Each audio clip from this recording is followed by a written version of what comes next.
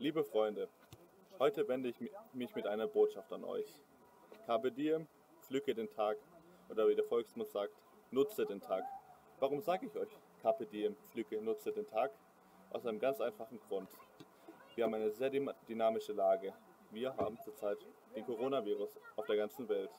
Ihr könnt euch nicht mit euren Freunden treffen, ihr könnt nicht die Verwandten besuchen, ihr könnt nicht grillen bei so einem schönen Wetter, ihr könnt auch nur begrenzt rausgehen. Aber trotzdem könnt ihr eure Chance nutzen und jeden Tag was ausprobieren. Lest ein Buch, macht Fitness, geht trainieren, haltet euren Abstand und denkt immer daran, es geht nicht nur um uns, es geht auch um die anderen. Solidarität, Zusammenhalt, wir müssen an die anderen denken. Deshalb wünsche ich euch einen schönen Tag. Und denkt dran,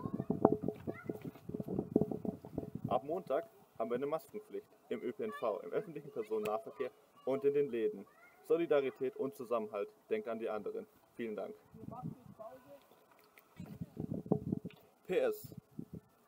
In wenigen Tagen wird unser bisheriger Oberbürgermeister Gerold Nürnberg nach knapp 16 Jahren sein Amt aufgeben und an seine Nachfolgerin Katrin Albsteiger von der CSU übergeben. Ich danke Ihnen, Herr Oberbürgermeister Gerold Nürnberg, für die 16 vergangenen Jahre, seitdem auch ich hier in Neuem lebe.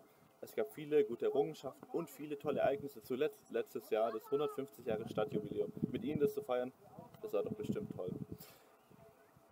Es gab auch Tiefgänge, nicht zuletzt der Nuxit, in dem es die großen Streit zwischen Stadt und Landkreis gab. Aber trotzdem wünsche ich Ihnen, Ihrer Frau, einen geruhsamen Ruhestand und Ihrer Nachfolgerin Katrin Absteiger viel Erfolg.